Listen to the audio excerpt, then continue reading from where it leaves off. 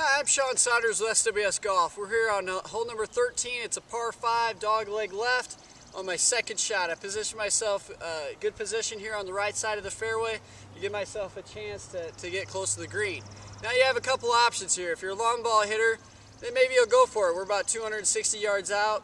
I know my game, I'm sorry, I just don't have 260 yards in my bag uphill to a tight green.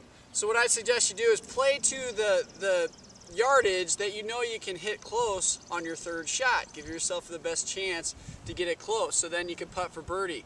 Instead of trying to hit it uh, hit that distance, you know, that maybe you just don't have in your bag. You got an uphill lie here. It's a tough shot.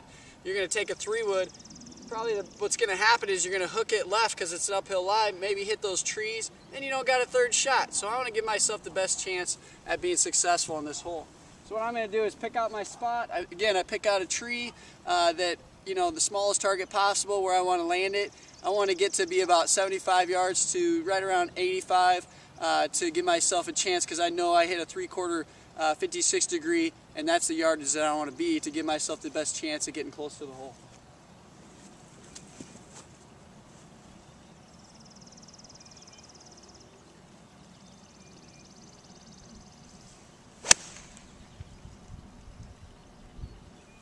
Nice little bend there with the uphill lie.